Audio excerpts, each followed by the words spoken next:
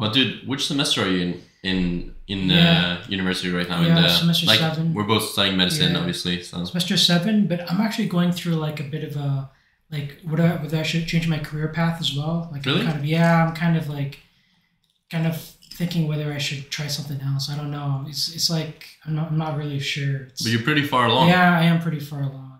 Yeah, so I don't You're know. already past the preclinical stuff, yeah right? yeah pretty much. When does that end? Like sixth semester? Yeah, sixth semester. Yeah, so So you're getting into the practical. practical stuff. Yeah, but it's, it's kind of one of those things where you know I don't know if I have like the motivation per se.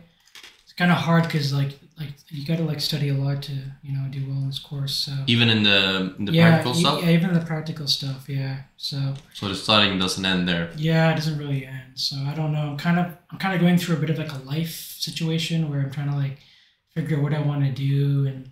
It's always like a like a tricky situation for everyone, you know. Yeah, like, sure. A lot of people in RSU have the sort of a bit of a crisis. Like, do I should I just continue and spend more years, or A lot of people? should I try? Well, not a lot. I don't know about a lot, but I feel like a minority yeah, in that probably, category. Probably a minority, but it is it is like it, it is a long course. You know, it's a six year course and stuff. So it is kind of Program. hard. Yeah, the program. So Yeah. It is kind of a A lot of people don't understand that like when you're studying to become a doctor, it's called an MD, which is its Mhm. own thing. It's not a master's, it's not a bachelor's. yeah, yeah. Like I don't know, do you have that in North America? Yeah, North America, we normally have to get a bachelor degree and then you go to like an MD afterwards. But it is a similar degree, like an MD degree. So Mm, But you have to get the bachelor's in North yeah, America, right? you have to get a bachelor's. Yeah. So it is it is a bit of a different system, but yeah, it is. I mean, I don't know if it's like the same in Sweden. Yeah, uh, Sweden is gonna be the same like here in Latvia. Oh, okay, like okay. you you finish uh, high school and then you can actually go straight to medicine Mhm. school to become a doctor. But Oh, okay. six years. Interesting. Yeah, Yeah. yeah, yeah. I don't see any problem with that actually. I don't see why you would have to get a bachelor's first. Yeah, it is kind of weird. Yeah. Like what what's the point?